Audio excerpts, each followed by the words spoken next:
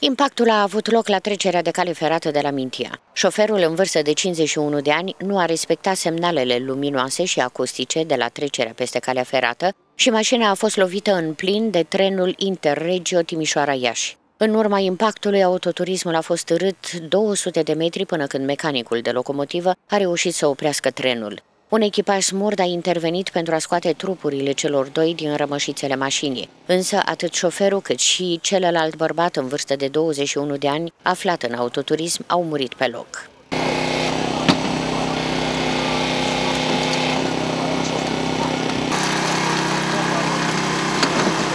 Din primele verificări s-ar părea că um, șoferul, conducătorul auto al acestui uh, autoturism nu a respectat semnificația semnalelor acustice și luminoase la trecerea de nivel cu carea ferată. Uh, în aceste condiții a intrat în coliziune cu un uh, tren Interregio care circula pe relația Timișoara-Nord-Iași.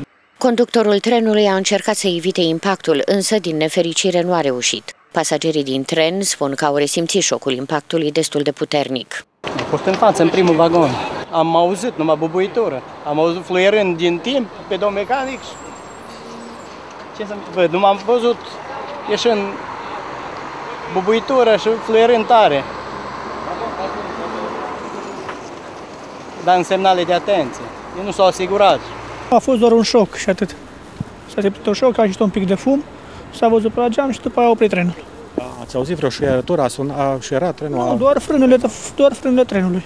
Mi-am sunat părinții să le zic să vină după mine și am dat jos să văd, sunt în apropiere de Deva, nu știam care e treaba cu trenul de s-a oprit și am văzut, am dat jos și am văzut victimele în mașină. Erau decedați cei doi? Da, la, când am ajuns eu acolo erau decedați deja.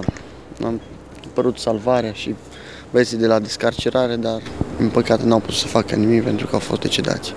Din cauza accidentului, traficul feroviar a fost blocat aproximativ două ore, iar alte cinci trenuri de călători au ajuns la destinație cu întârziere.